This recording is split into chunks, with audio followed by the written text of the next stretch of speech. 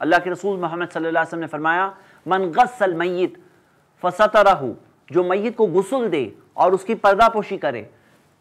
سترہ اللہ من الزنوب اللہ اس کے گناہوں کی پردہ پوشی کرے گا۔ اس حدیث کو امام تبرانی نے موجمل کبیر میں جمع کیا ہے اور مستدرک حاکم کی حدیث میں آیا ہے، من غسل المیت فقتم علی، جو میت کو غسل دے اور اس کے عیبوں کو چھپائے،